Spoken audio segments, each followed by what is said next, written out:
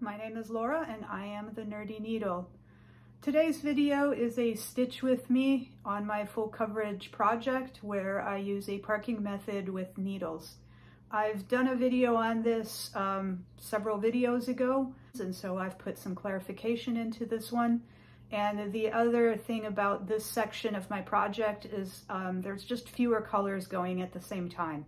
So I thought that there's just less things going on and hopefully that will clarify some things for, um, for my fellow stitchers. If you have any questions, don't hesitate to ask questions um, in the comments section. I do read all of those. I um, really do appreciate all the feedback. Um, if you are wondering about some of the stuff I'm talking about, I have done some uh, previous tutorials, so go look back in my earlier um, videos. I think I have a series of about four or five um, videos that walks you through my process of um, how I do this stitching and why I do it this way. I'm a science teacher, a high school science teacher, and so I'm always looking to not just explain how I do something, but why um, I do something the way that I do it. So there's plenty of explanations um, for your nerdy side.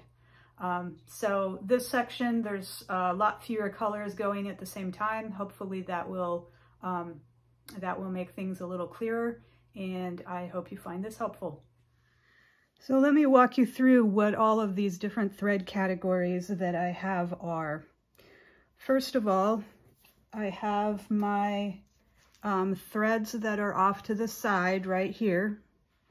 These are threads that I've parked for the next diagonal. So that I pull the needles off of these and I drape them across the top of my scroll frame. See how I roll my scroll frame under so that these threads can just kind of sit there. If I scroll it the other direction, then um, then these have a tendency, the shorter the shorter parked threads will kind of flop back into my work and that's annoying. Um, I usually put a grime guard up here if any of my stitching is under the bar, but since it's narrower, it doesn't really matter and I haven't bothered. So these are, again, for my next diagonal, and I made some nifty little signs to help orient. So that's my next diagonal with no needles. So I have my current working threads down here. Um, I just finished a row, so I stitch left to right, top to bottom.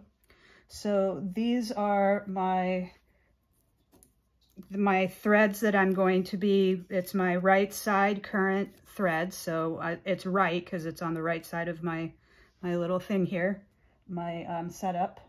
And then as I'm working, as I stitch across this row, and I park my threads for the next row, they're gonna go right over here. So and basically my working threads just get passed from the right side to the left side, to the right side, to the left side. So any needles that are here are the ones that I'm gonna use in my current row. When I park the next row, they're gonna go here.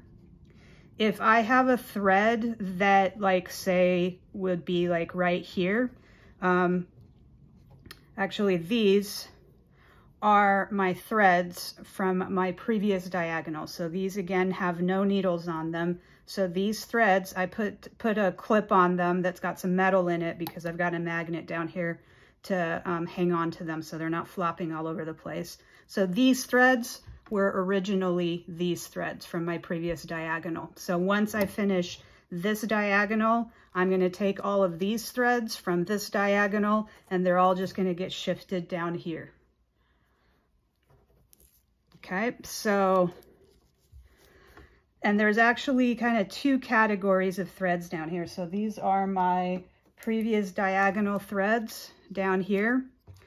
Now, if I'm stitching and I need to park a thread a little bit farther down, so it's not in the next row, it's uh, like three or four rows down, I'm not going to put it on my current my current uh, needle binders I'm going to leave the needle on and just stash it down here with my previous diagonal threads. So I can just call those my later threads. Um, everything that doesn't say no needles on it, those are all have needles. So the only threads that I don't have needles on are basically the threads from my diagonals. So the, the threads from my previous diagonal and then the ones for my next diagonal, which are up here. And I have one more category of threads and um, I have an example for this and it's right here. See, I've just pulled this thread up to the front, uh, left the needle on, and I'm calling that my too much counting um, thread. So basically this thread, I was stitching up here somewhere, and this thread I'm gonna need like somewhere down here. But it was like further over, and these are long strings of um, colors, and there was just nothing to really orient. And I looked at that and I'm thinking, eh, it's too much counting to figure it out down here. So what I did was I just took this thread and just pulled it up to the front so that it's completely out of the way. I only do this every once in a while. I'm not gonna ever have like a bunch of these up here because it just gets too hard to keep track of. But every once in a while, if I need, um, if I'm gonna need that thread a few rows down, but I don't wanna bother trying to count over, then I'll just pull it up to the front. I need to remember that that's there. I have forgotten and like started a thread and then I look up here and I'm like, oh, I already had one. Um, so I need to remember that that is there. But it's a um, easy way of just not having to bother counting. And with parking, you know, you have to get the, the counting correct. Otherwise, you're gonna have a, you're, you're gonna make mistakes. So um, this is a good solution for that. And we're actually going to come back to that because that's a good solution for something else too. Um, but I'm not going to go there yet. Um, other things that I do, um, here are a couple of waste knots. So that's how I start threads that don't have a loop start on them. And it's also how I end my threads so that I don't have to flip my um, work over because all of this stuff just start goes flying everywhere. Other things that I have is kind of a pin cushion that's kind of a fuzzy, uh, it's more, it's a needle minder. Um, unfortunately, I don't, I got those on eBay probably about six or seven years ago. I've looked, I haven't been able to find any. If anybody has a, a link to um, a needle minder that's got kind of a fuzzy to it so that you can use it as a pin cushion, uh, please let me know because people have been asking about that. Other things, I have my um, needle minder with my um, my needle threader and then a pair of tweezers which I use to um, grab my waste knots and cut them off. So I just basically grab the tweezers to pull up on that so I can snip off my waste knots. Um, I keep my embroidery scissors down here. Oops. Um, I roll my scroll frame under because it gives me a nice tray and it keeps me from messing up any stitches that might be here, which I don't have yet. Um, and I won't because this is basically going to be the bottom here. Um, and then I use a trolley needle and I have another video that describes how I do that, so explanation. So currently that's where we're at. Um, so I'm just gonna be stitching. Now I picked this section to demonstrate my parking technique again because I'm running relatively few threads. Um, the first video I did on parking, I, I had like about a dozen threads. So that is also a way you can see what happens when you have a bunch of threads going at the same time. Um, I think the most threads that I've ever run has been about 14 or 15, all with needles on them. And it really, I, I don't get tangles with this system. It works beautifully. All right, so let me put my magnification on. And let's go. I need to orient myself. Um, so I took a screenshot of just a few rolls, rows of this pattern. This pattern isn't even in production anymore. And, you know, it's it's all this. So it's not like it's going to be worth anything for anybody. But I thought that that would be useful for people to see. So let me make sure I'm on camera. So if you're looking at my chart, um, so this is the A color. This is the um, those horizontal lines and this is the sideways M. So those are my colors from my previous park. Um, and let's get going.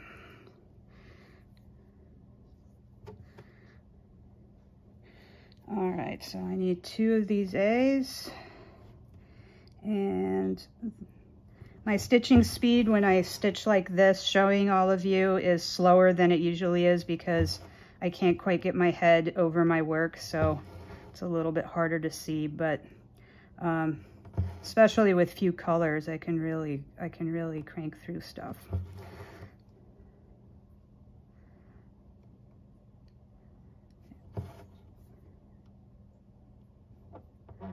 Okay, so those are my two A's and the trolley needle, you can see it's just running over the spike. And what that does is it just lays my threads nice and parallel so that I just get neater stitches. So this is where I need to park. I always start my stitches from the bottom left. So the place you park your thread is the wherever you're starting, wherever you come up the first leg of your stitch. And for me, that's always the bottom left. So here's my, um, this is the A color. And then um, since this is the first color on the next row, I'm going to put it at the bottom. And when I park onto this needle minder, I kind of dig in and kind of feel the plastic scrape the needle. Um, otherwise, they, they can fall out and then they get out of order. Okay, and I think I made a mistake. I put this one too far, so I need to Oh, great. And I just unthreaded my needle.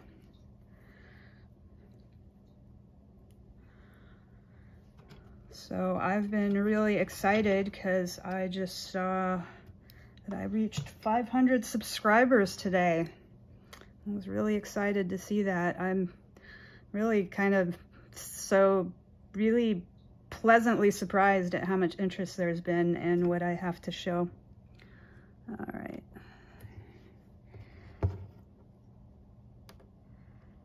So this is those parallel horizontal lines. If I can hit that hole, come on, there we go.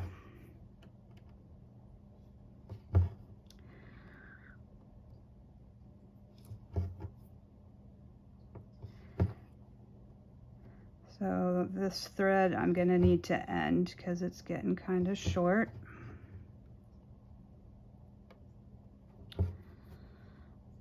One thing when you're ending threads with the waste knot or um, you know I don't get every single last possible stitch out of my thread because I need enough to carry behind my work so that I can pull it up. Now I pull up I I've been actually making this shorter. I used to come up and like run about 10 10 rows away um, or 10 stitches away from where um, my last stitch was to come up to do my waste knot, but I've actually been shortening that up to about five or six because I mean, all of these stitches, there's no way this thread's ever gonna come out once I finish um, the rows right here. So basically with the waste knot, um, this is being carried on the back underneath my fabric. I come up, I put a little knot on there to keep it from flopping or pulling through the, um, the fabric. And then as I continue to stitch, I'm going to stitch over that carried thread on the back. So by the time I get down to here, um, that thread is going to be secured with the rows that have been stitched there. And then I just snip off that waste knot um, and that's it. So I'm going to need this horizontal line um, color again. So um, I tend to set up my threads for the next um, the next row as I'm stitching across so that they're already there. So I use these MasterCards. Um, I actually just re-braided um, the tails because they were really messy. Um, this is a great strategy for keeping your thread tails from getting all tangled. And then uh, I just need to pull a thread. Come on, baby.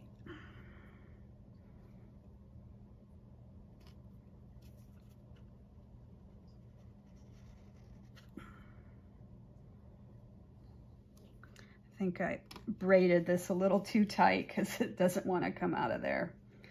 So don't braid your tails too tightly. Come on. There we go. And then the other thing I do, you see how it's actually not too bad on these thread cards, but you do get kind of kinks in your floss. And um, so what I have is a damp sponge and I just drag my thread through a couple of times to dampen my floss and see how straight that is now. And that is a fantastic strategy for um, not getting um, slip knots. I very, very, I can stitch for days without getting a single slip knot now. Um, and I'm serious about that. I, I, it's very rare that I get them. And when I look on the back of my work, you, you, I mean, it's all happened to all of us where you see that kind of loop where you get a slip knot on the back and it just kind of stays there. And I have very, very few of those because I straighten my floss. So if you've learned nothing else from me today, get a jam, get a piece of sponge. I put it in a one of those French jam jar lids because I have a magnet over here. So it just, I, I can attach it with the magnet and it's always at hand. Um, and it's almost completely wrung out. So if I tried to squeeze this, there wouldn't be any more water that comes out. You kind of have to find the balance between how wet you want it. Um, because otherwise you don't want your thread to get too soggy because you'll notice if you start stitching with thread that's still damp, it's going to catch like crazy on the fabric. So then you just need to wait like 30 seconds. But that's another reason why I um, set up my thread for the next row because then I know that it's for sure going to be completely dry when I need it. All right, so um, I think those are out of order. So now this is my M. And see, I got a little carried away with talking and I didn't realize that I'm gonna need those horizontal line symbols again, but it doesn't matter because I'll just pick them up on the next row. So I'm just gonna skip those completely and then when I do the next row, I'll pick those up. So I need six of these guys.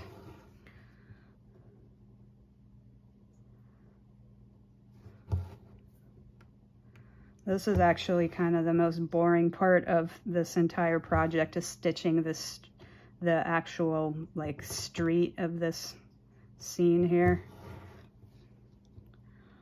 So I figure make a video and break up the monotony of just lots of light purple, medium purple, dark purple. Two, three, four, five, six. Skip two. And then, so I stitch on the diagonal to avoid any possibility of um, chart lines or column lines. But, you know, on a pattern that's this narrow, that really wouldn't be much of a risk. But um, it's also just a cool way to see your image appear. And so whenever I do full coverage, I just do diagonal because it just looks cool. And it just, it, you get more variation in the color and you get a chance to kind of anticipate the next diagonal. Like when I came to um, up here, I just had a little bit of that dark and I picked up a couple of stitches of the blue. So then I was like, hmm, how's that doorway gonna look? So it's it's just a unique way of, of seeing your image appear, which I really enjoy. And of course, this technique would also work with just um, stitching and completing each stitch individually. So the official names, the this kind of stitching where it's the there and back um, stitching, this is called the Danish cross. And if you complete each stitch individually, that is the English cross.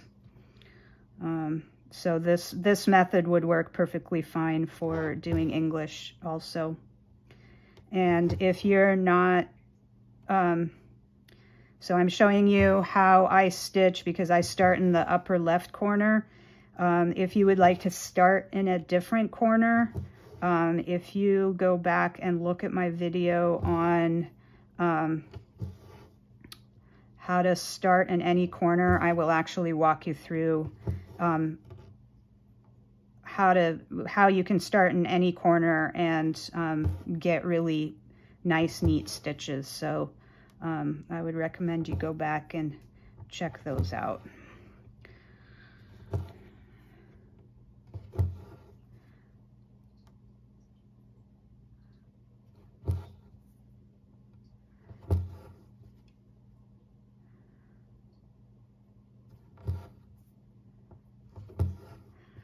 All right. So that's the M. So one of the things, um, because these two colors are very similar, and with this method, I, um, I switch colors so often, like when I was stitching over here, I mean, there I had like a dozen colors going in 20, in a 20 stitch across row. So it's really easy to forget which stitch did I just forget, finish, what color did I just do. And I don't want to be looking under my work to figure out what's in my hand because right now I have a thread in my hand underneath my fabric.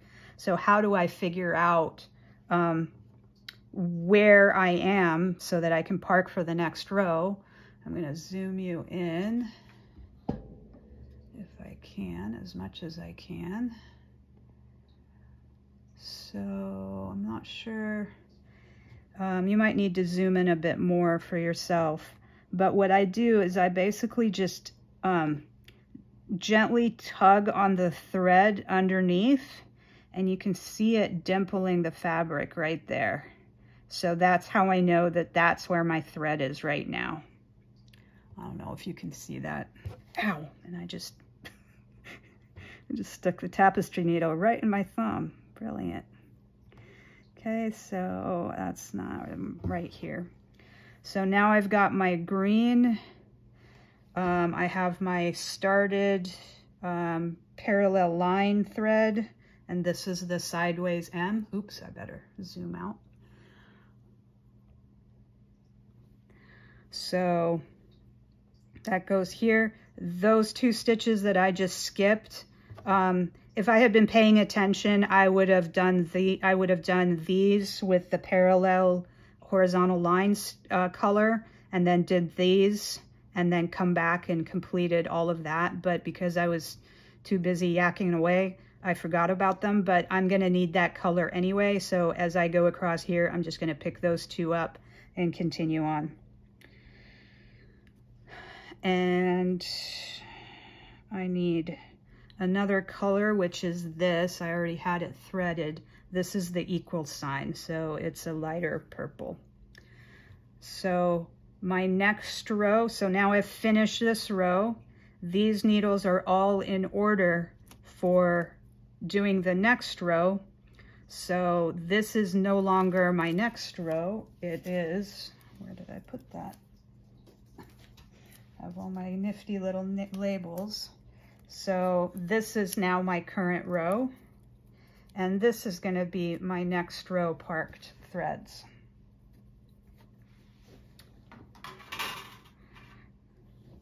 Okay, the other thing I need to do is I've got some waste knots that I've worked my way down to. So these thread, these waste knots right here are the ends of some threads that got ended somewhere up here.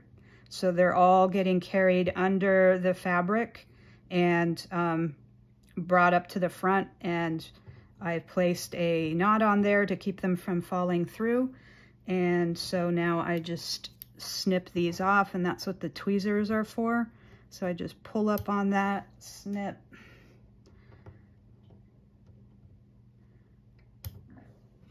There we go. And often that leaves a bit of a fuzz of that thread kind of sticking into the hole of the Aida. So I use this thing, which is called a Snag Nab-It.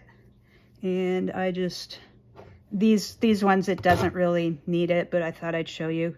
Um, so I just put it in there and you can hear it. It's got that rough end to it, which just snags the um, fuzz and pulls it through to the back side. Uh, this is a fantastic tool um, you, I mean, it's impossible to not pull through some fuzz to the front. And then you just grab this and push your threads through. Or if you're seeing some, you know, a different color fuzz coming through, you can just get rid of it using this. One of my, my all-time favorite tools. Okay, so cross off this row on my chart. And so I layered, so my when I put my, my needles, um, it's really important to put them in the correct order and it's, go, it's bottom to top, left to right. So now that I've got everything here, I need to be able to grab my first needle, which is this one. The thread for that is on the bottom. So if you, basically, this is what I call flipping the threads, and I'm just gonna do it slowly. So if you just take all of your threads that were layered down here and just invert them, then now your first thread is, or your first needle is ready to go. So you basically, um, all of these were down like that, and I just flip all my threads up, and um, now everything is accessible and I can keep going. Now you might see that I put my needles facing to the right and I'm gonna do it the same over here when I park over here. And it's because I'm left hand I'm left-handed, so my left hand is under my fabric. So I'm pulling these needles with my right hand, so I might as well point them in the direction that I can make it so that it's easy to grab them. So this is the letter A. I need three of these.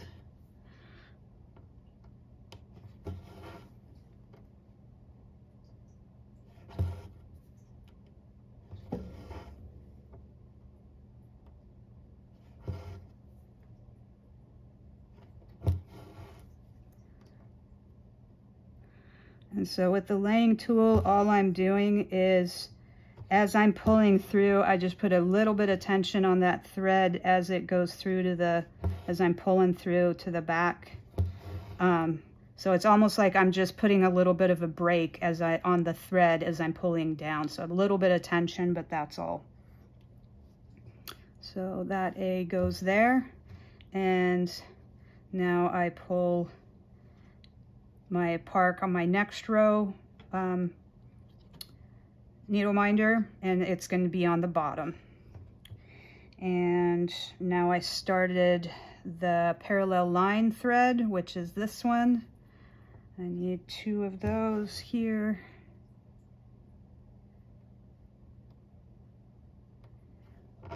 And I'm using the loop method. Um, the way I set up my threads, I um, my thread length is 100 centimeters. So basically, I, um, I take a skein of DMC and um, basically fold it in half four times. So I make eighths of the eight meter skein.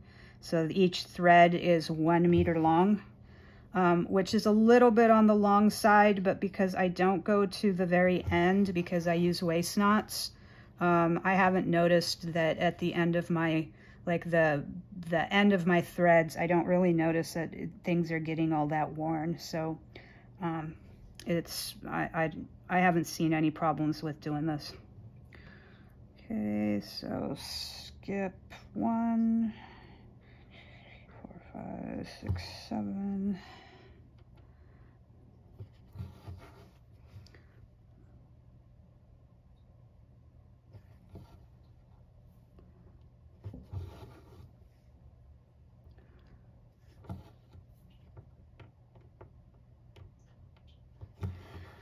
It's really weird how even just a slight different angle to looking at my stitches and it's harder to see.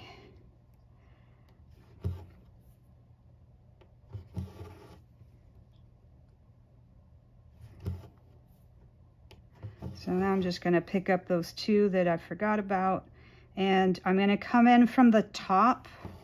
Even if I hadn't come down here, I would come in from the top to get a, a thread direction change so that um, I get neater, neater stitches.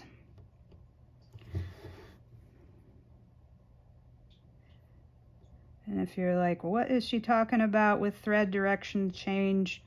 Um, go Uh, I think it's my second video where I talk about how to make your stitches pretty. Um, where I talk about that. And I'm really noticing on this pattern because I've been really careful about that and it does make a big difference. Okay, just need to go back.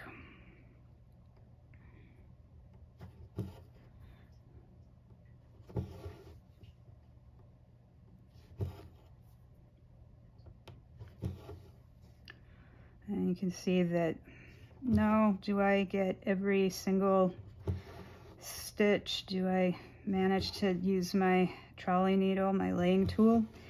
No, but I do most of them. Sometimes I miss.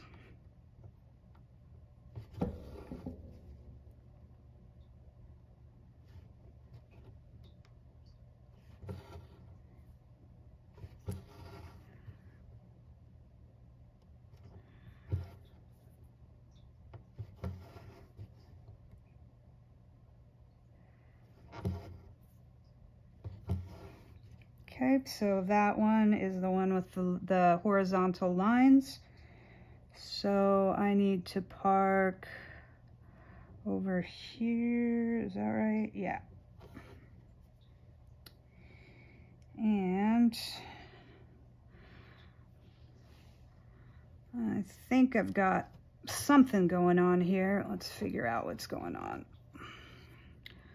So this is a thread that I parked from the previous diagonal. And I suspect that there's some sort of mistake here because that's this guy. So this is M. So I think I just parked it in the wrong hole. Um, I don't, sometimes I miss with my parking, but most of the time I get it right, but this one I missed. So what do I do if I suspect that I've missed, misparked my thread?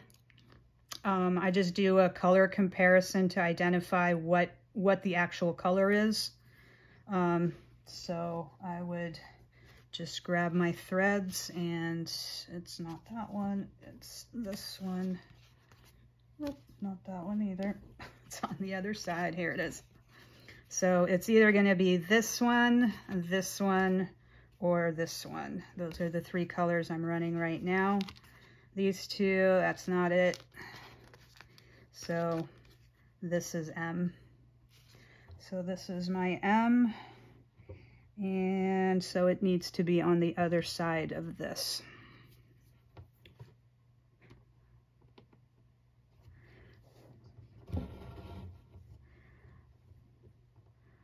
So basically as I stitch a row, I'm kind of anticipating my next row and setting everything up for the next row. So now I've got my M. Need to make sure this needle's parked. And then this one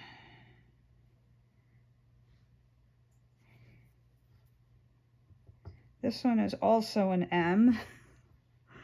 So that does happen where, um, so I don't, I don't, put, I don't mark on my chart where I've parked threads. I found that that's just, I, there's really no need for it. Um, because I can start and end threads so easily.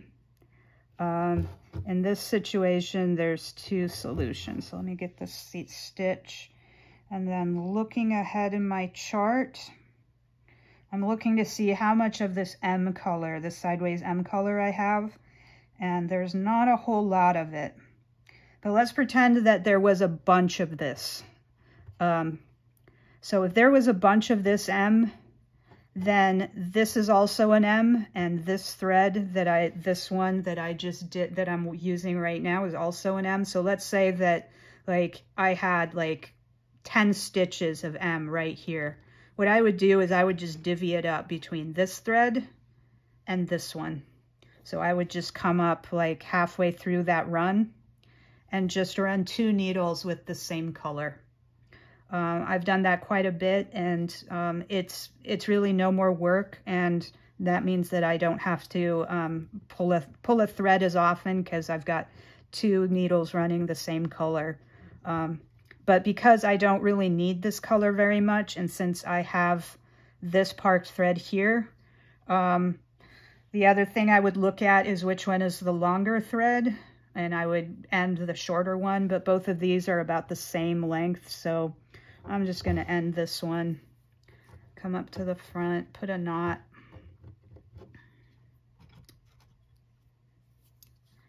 And snip. So either one works. If there's a bunch of the color, then split the duty up for that color between two needles running the same color, or just end it.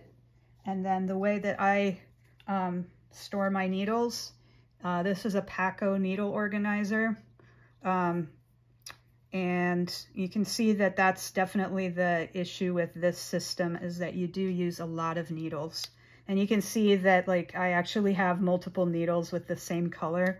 Um, and then I just grab them off of here and off I go.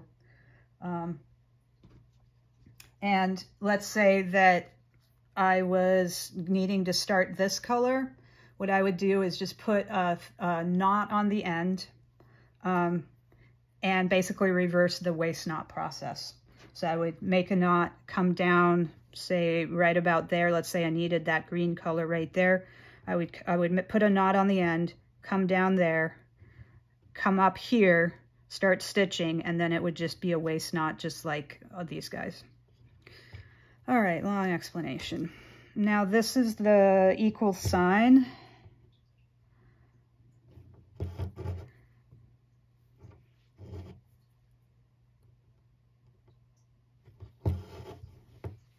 And this just goes to the end of the row.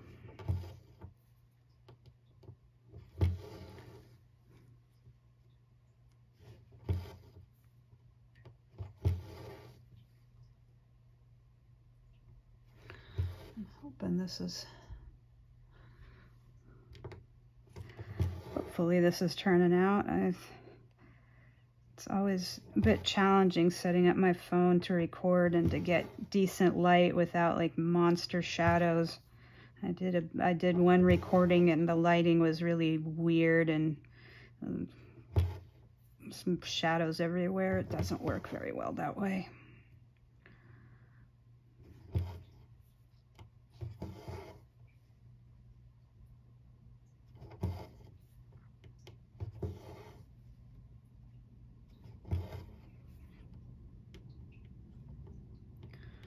I'm really liking this pattern. This is the first spot where I'm kind of getting a little annoyed with it because it is just a lot of this purple, shades of purple and um, lavender. It's getting a little old, but the rest of it's been great.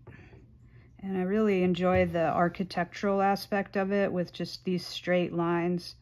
Um, my last big full coverage piece was a field of flowers, so there wasn't, there were no lines in it anywhere, straight lines. And this one, it's been kind of fun. Um, and what's really cool about this is that, like, when you get really close to it, you can't really see the features. Like, as close as I'm sitting right now, I can't really tell that this is a doorway, but when you get a little bit further from it, you can totally see the three-dimensional um, look to it, which I really like. All right, so that's the equals, and that needs to go all the way out. So this is my, this is the horizontal lines. This is the M, I need two of those. And this is the equals. So now I've got everybody, uh, my row is complete. I've got everybody parked. So now I go backwards. So now um, this is my current row. And then this is going to be my next row.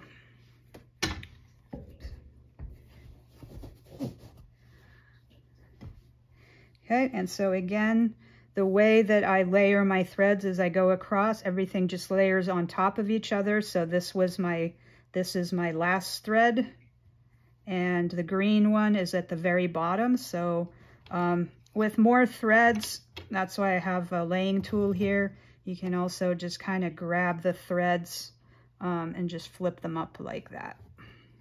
And it doesn't need to be neat at all because um, they don't really tangle. And so the only thing I pay attention to is making sure that I can, uh, that my needles are seated, that they're not flopping out like this one is trying to make a run for it. So make sure that's seated, that they're not, the threads aren't looped around each other and then I can easily grab the needle. And pulling off of the needle minder, um, the key to that is to grab the needle and not the thread. If you grab the thread, you're just going to unthread your needles and you're going to end up with a mess.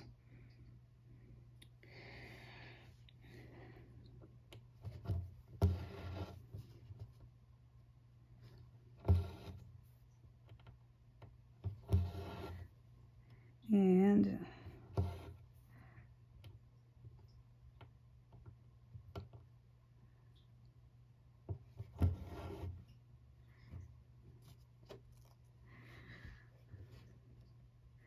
See, I talking and stitching at the same time can be a little challenging. We're gonna get this done and then figure out what my what color that is. Hoping it's my equal.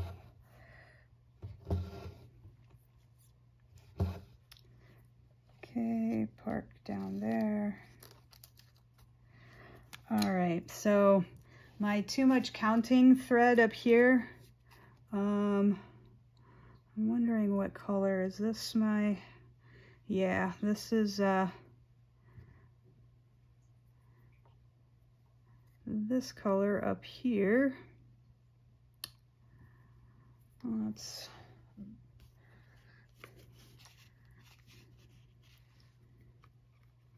that is the equals. So if I hadn't been talking to all of you, I probably would have realized that this is the equal. So this is this color right here. So basically this, um, I was up here, so I did those three, and then I would have been one, two, three rows down and a bit over, and I didn't want to bother counting that.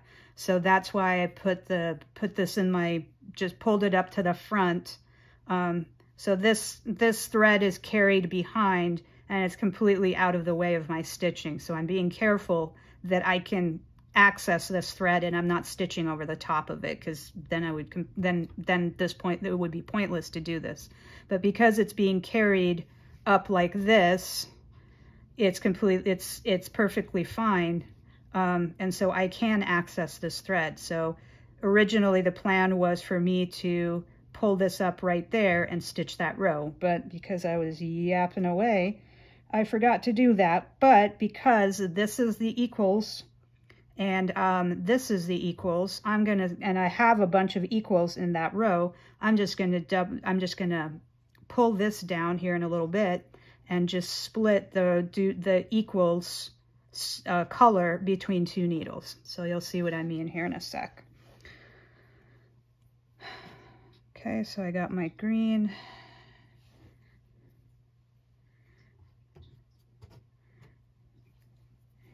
And I just have one of these.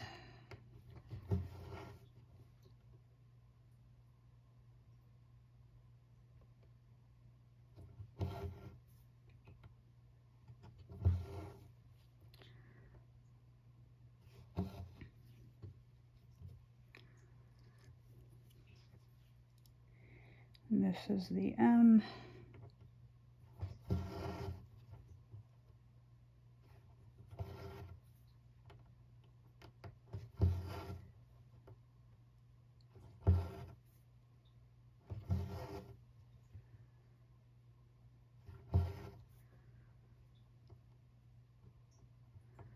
kind of came up wonky in that hole. Let's see if I can get it.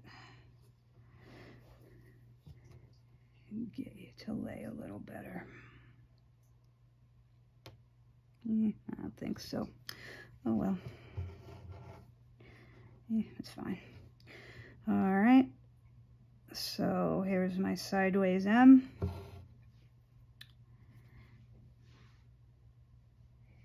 And here's my equals. And I have one, two, three, four. So what I'm going to do is I'm just going to do some with this needle. Let's just do like four. Okay,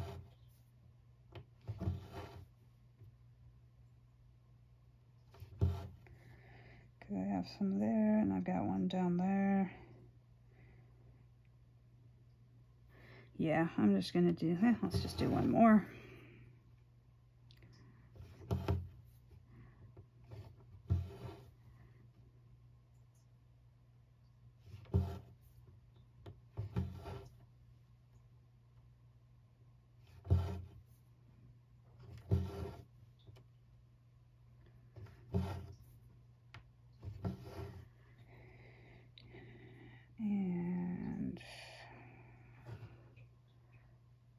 two over.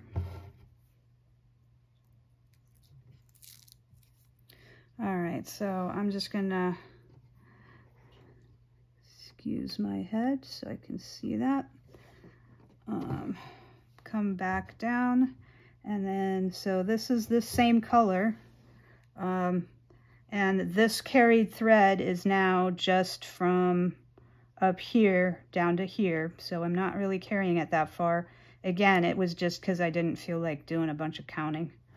Because I'm lazy sometimes.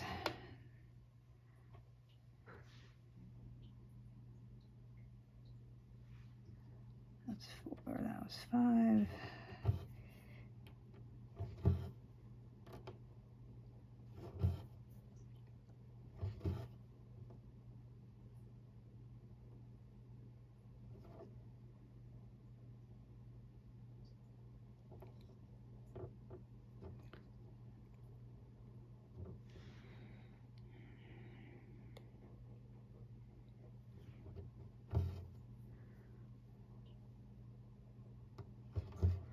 I there's a mistake in there, but it doesn't really matter. When it's like, you know, it's just kind of a jumble of colors like this, if you don't get every stitch exactly per, like in the right spot, doesn't matter too much. So now you've seen how you can run two needles with the same color and basically just split a longer run of colors between the two. Um, I'm not using my laying tool on this because it's so short. So what the laying tool does is as you're stitching up and down through the fabric, the um, thread gets twisted around itself. And so instead of your stitches laying nice and parallel like that, they kind of overlap. And that makes for a more irregular stitch. So if you can get them to lay parallel, you're going to get um, neater, prettier stitches. But when your thread is this short, um, I kind of paid attention to it for a little bit. There's really not a whole lot of twisting that's happening anymore. So um, once your thread gets to, you know, kind of short so that it's hard to get that laying tool in there, I just stop doing that. And I think I'm just going to end this. So there's not a whole lot left of it. I tend not to, the other reason I don't like parking really short threads is because they start falling out of my needle minder um, and then it just gets to be a problem.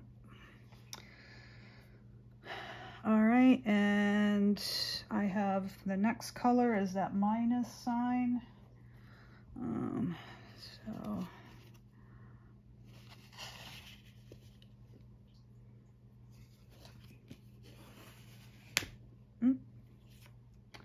I just broke that one.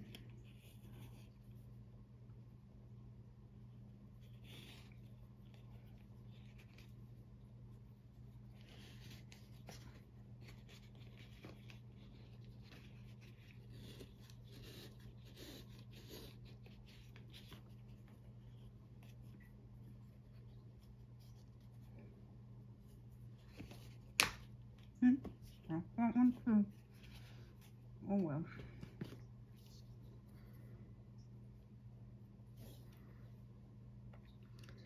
Uh, don't braid your tails tightly. I, I braided them too tightly and so they're snagging. So I'm gonna have to loosen that up, but not right now.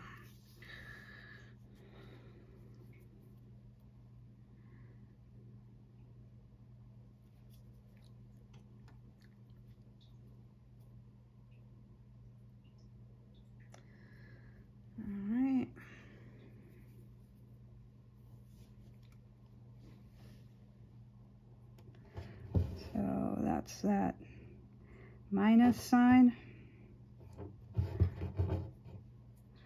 And you can kind of hear, heard it kind of rough coming through the fabric that very first pull. It's because it was still a little bit damp, but it's pretty warm in here, so it dries off real quick.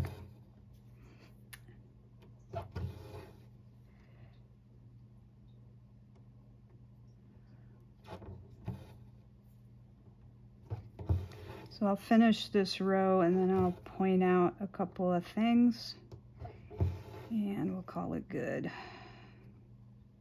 And if you have any um, specific things you'd like me to show, um, just leave a message in the comments and I do pay attention to those and answer as many as I as I can. Um, and I've kind of got a list of things people have been asking for. Uh, so, and I'm getting pretty quick with being able to do these videos. So they're, the setup is, is like five minutes. So, and I don't do like a million takes anymore because I just leave all my mistakes in there because, hey, we're all human. Um, two over. All right. So I just continue on going back and forth um, in the same manner.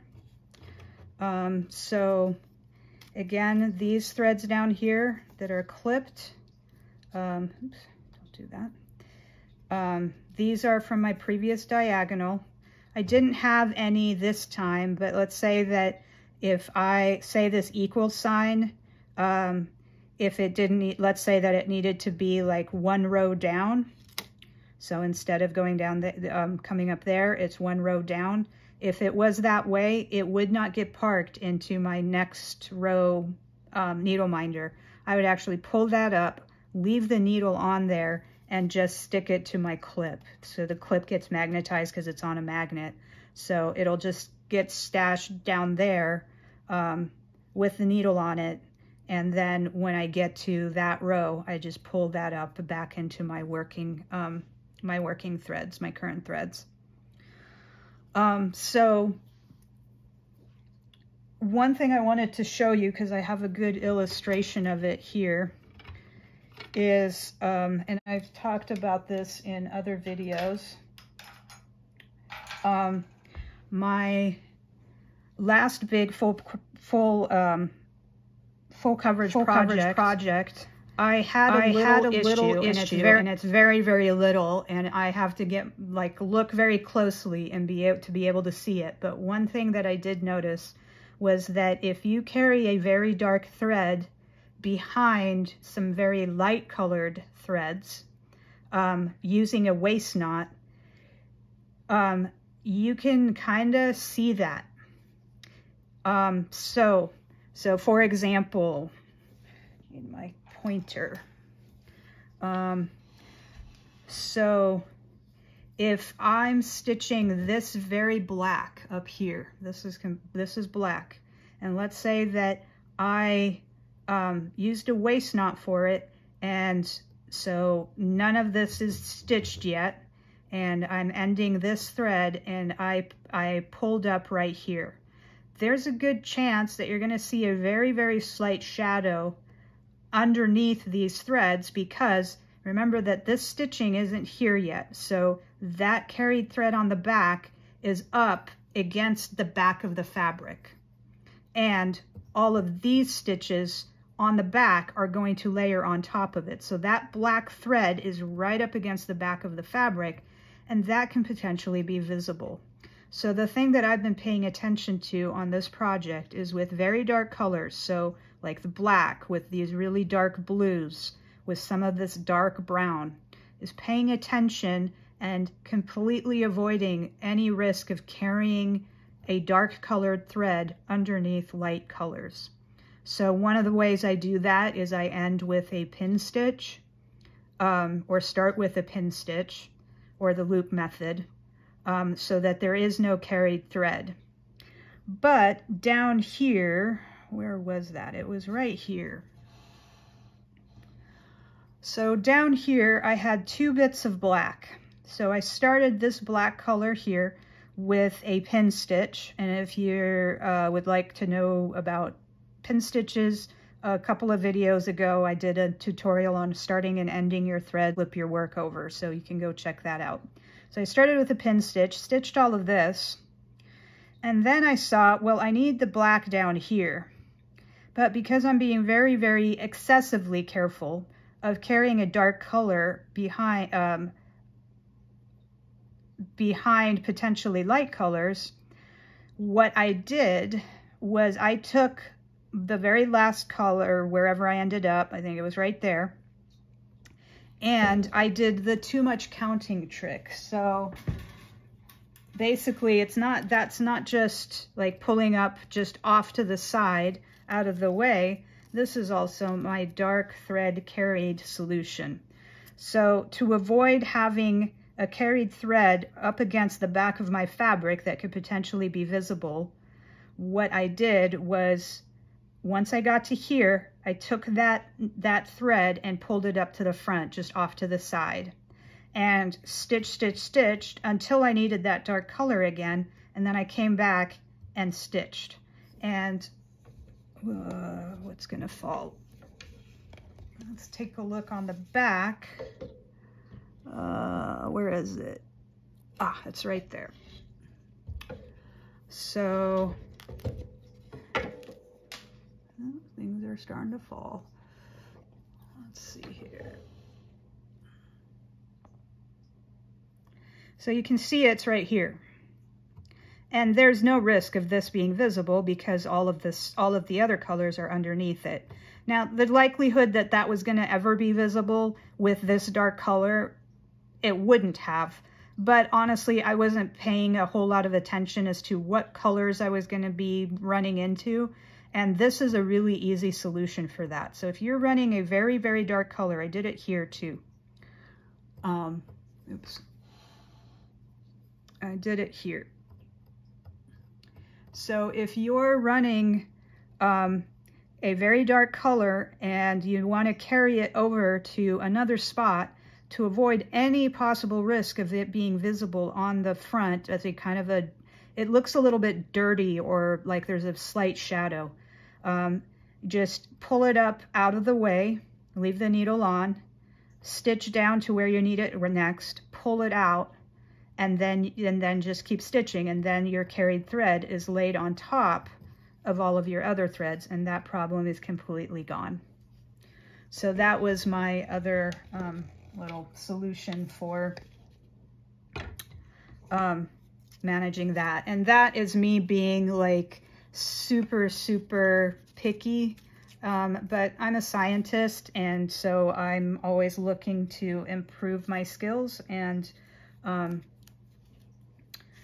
make make my projects prettier and prettier and identify where my um, where how I can fix problems. I'm a troubleshooter, I guess is what I'm trying to say. So when I identify some sort of problem, I'm constantly looking to see how I can fix that problem, and that was my solution. So again, you just pull up to the front, and then um, you can come back and use that thread. I rarely, rarely do that. Probably this entire project, I've done it like three or four times. But it's a nifty trick. Um, so between not wanting to count a bunch and avoiding that thread, that um, carried thread potentially being visible, uh, that's a good trick for doing that. So I hope this clarified some questions people had about how I use my um, my uh, needle parking method, um, it really does speed up stitching immensely. Like this project, um, it's, it's, I mean, it's fully rolled under. So it's, this thing is about this tall. Um, I think it's around 20,000 stitches, 18,000 stitches or something like that. And honestly, I've been working on this for maybe three months, four months, um, probably since February. So March, April, May. Yeah, about three months. And it's not, and I'm, I'm using it in a rotation. So, um, it's not that I'm all about stitching quickly, but it is nice to see the results of your labor. And this, um, this just speeds things up and it's super enjoyable. So I hope you find this helpful.